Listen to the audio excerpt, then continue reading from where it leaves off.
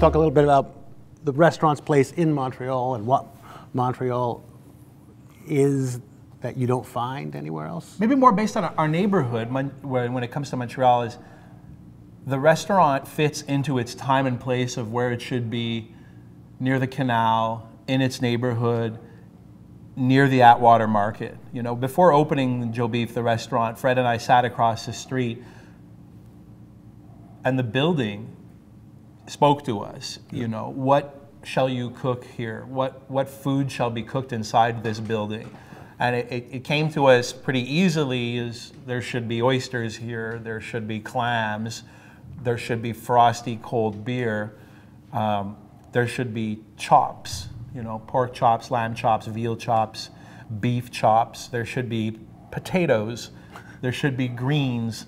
Uh, there should be mushrooms. There should be trout and apples. You know, kind of just apples, onions, potatoes, and, and, and proteins.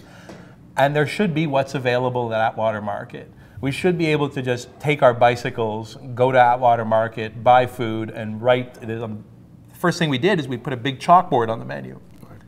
And we wrote a menu that was accommodating to like